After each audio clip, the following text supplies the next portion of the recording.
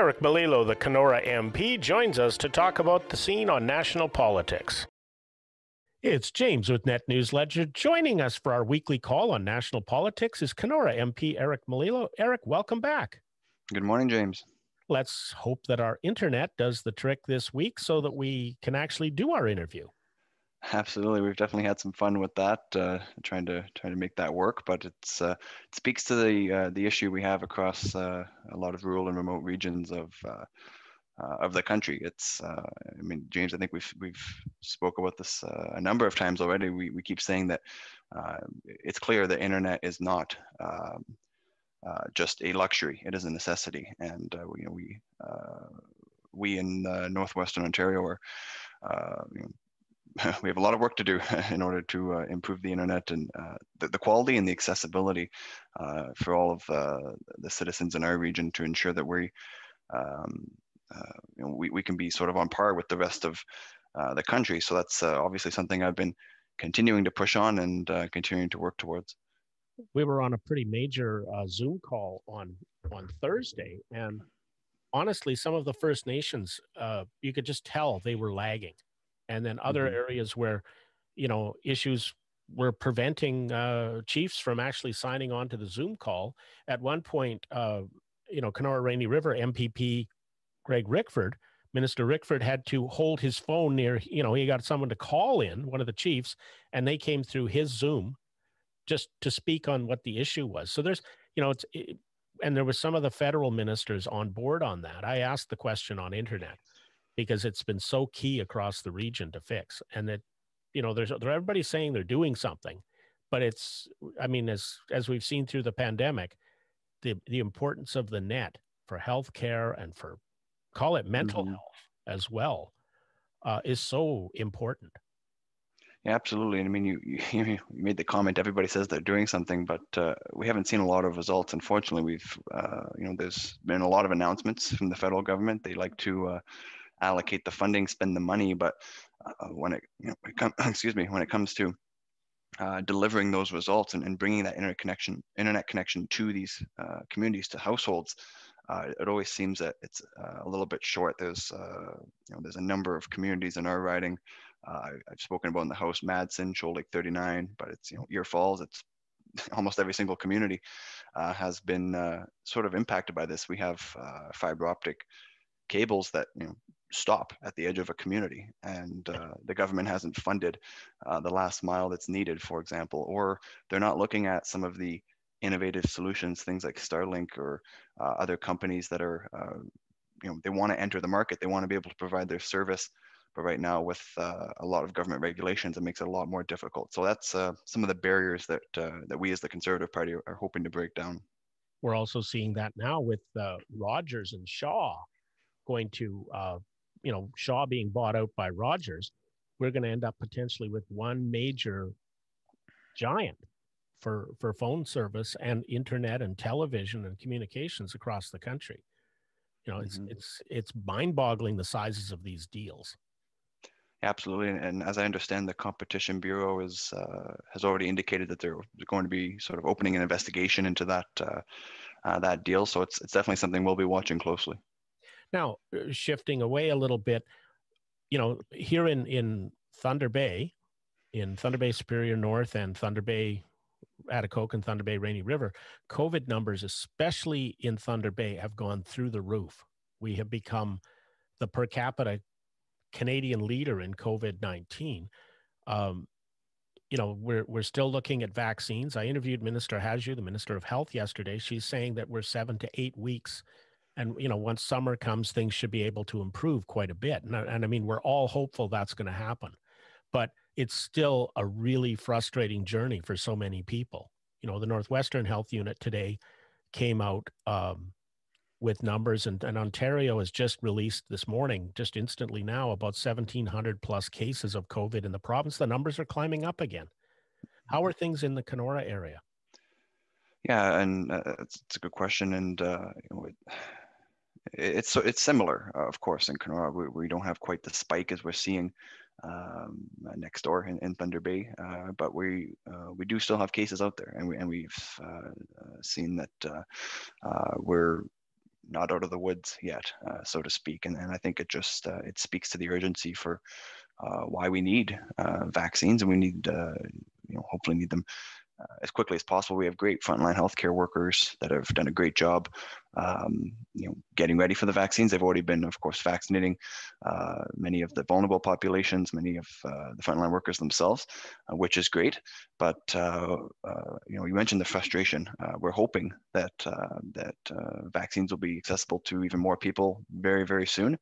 the government, the federal government, keeps saying September is when everyone will have uh, have access to a vaccine. Um, we, we hope that that's uh, uh, sort of the the latest possible date and that they're just being uh, conservative in their estimate because um, you know that's if that's the case we're losing another summer we're losing another season for our businesses and that's uh, you know it's frankly um, just that much longer and that much more frustration that um, that Canadians, uh, the people in our region, will um, will have. So uh, we're we're hoping to work with the government on that. We're wanting them to succeed when it comes to vaccines because we know that uh, it's one of the most important tools, if not the most important tool, to helping us overcome uh, COVID-19.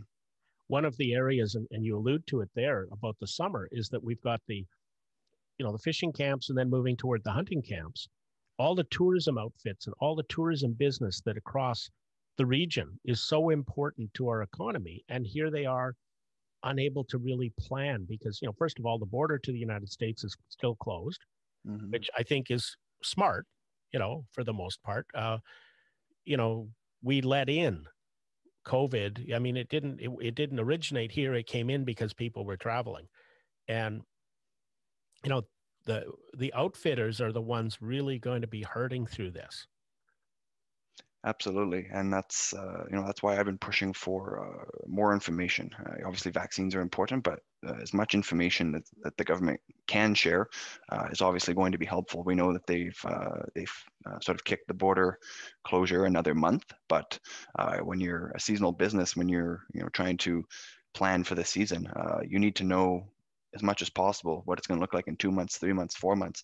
So uh, we, we've been, and I've been especially pushing on the government to try and get some of that information. We know that they have, uh, you know, many people, the ministers have many people in their departments. They have the public health officials that are uh, doing a lot of this modeling and projections. At least I hope they are, in order to, uh, um, you know, determine what this, uh, you know, uh, what, what our timeline might be for vaccinations, what our timeline might be for um, uh, being able to reopen and, and uh, find a way to uh, safely welcome people back to the country. So with, without that clear information, it's going to be very, very difficult for our businesses, uh, particularly the seasonal businesses, uh, to plan for that uh, summer. So hoping to see that in the budget. I've, I've had a discussion with the Associate Finance Minister, Mona Fortier, about this, as well as I've previously raised it to uh, Chrystia Freeland as well. Uh, so uh, we're very much hoping that uh, some level of clarity, some metrics that the government is using to um, uh, to make their determinations about border closures and uh, and other measures can be made public, so that we can give our businesses and, and everyone across the country a better idea of, of what we're working towards and, and how we're going to get there. That's that's something I'm really noticing right now. People you know the and and even in the, the news business i mean we're getting information and we're sharing it with our readers and our viewers.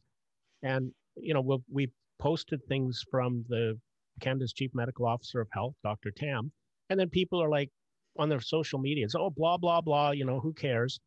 There's a lot of good information out there but there's there seems to be this growing feeling that we're not getting the all the information that we need. Yeah, I mean, you made a good point. There is uh, definitely some good information out there, and I encourage everyone to uh, uh, to look at what is out there and uh, and definitely not disregard it uh, because it is important uh, to know. but and we do get that sense, and and I think it's been clear that there's a lot of information the government um, hasn't shared with us. Maybe they don't have the information, but at the very least, they should be looking for that information when it comes to uh, you know figuring out um, how many people need to be vaccinated before we're uh, uh, before we're going to be in a position where we might be able to reopen. Um, if people are vaccinated, are there um, are there ways that uh, certain restrictions can be um, can be relaxed for those individuals or not. Uh, these are all questions that we're just trying to find the answers to. Uh, I don't profess to know what the correct answers should be, James, but uh, we're hoping that uh, we can work with the government and work with um, the departments and the officials that they have to try and figure out those answers as much as possible because there's a lot of unknowns for people. And of course, um, you know, unknowns is, is, is something that um, uh, that causes a lot of stress. It's uh, very frustrating for people. So uh, we're trying to, uh, uh, you know, trying to work with the government to be as open as possible. But uh, unfortunately, we haven't been able to get those answers yet. Now, one of the areas that we've been following um, for a long time, it, it, it's the transportation sector. And the government has not yet put any specific supports in for aviation, for rail, uh, you know, we had the, the U.S. Coast Guard cutter Alder was in Lake Superior this week in the Thunder Bay Harbor breaking ice. So the marine shipping is coming together. Marine seems to be doing okay. The areas that seem to be struggling are aviation. I mean, Porter Air is still not flying.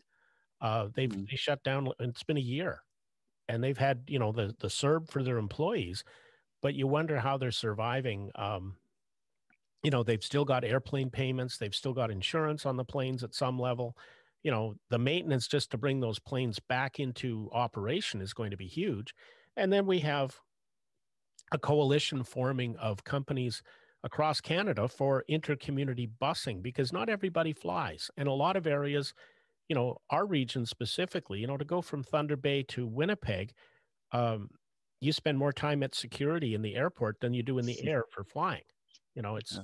it's a one hour flight i remember my first time taking it where it was you know, flying home, you got there at the same time you arrived or left, sorry, you know, from Thunder Bay to Winnipeg. And there's got to be ways that the government can be helping these sectors. And the one with the with the bus transportation is that that's tied so tightly in parts of Canada to the tourism sector. Absolutely, and that and that's something that uh, we uh, we've been pushing for as the Conservative Party is that um, you know we re- we realize that there's been a lot of uh, a lot of programs that have been created, obviously, uh, as a response to COVID-19 for our businesses and, and, individuals that have been impacted. But there's also been a lot of people that have fallen through the cracks, particularly when it comes to tourism, when it comes to hospitality, when it comes to the airline sector and, and transportation more broadly, as you mentioned. So uh, we recently passed a motion in the in the House that um, that says that, the House of Commons wants to see that sector-specific support uh, in the budget. So um, how the government interprets that is up to them. Uh, but uh, you know, I, I, think it's a pretty strong indication that uh, you have uh, all of the opposition parties uh, saying that um, these um, these sectors, when it comes to transportation, tourism, and hospitality, have been impacted um, in many ways the most, uh, or, or, you know, quite quite aggressively by COVID-19.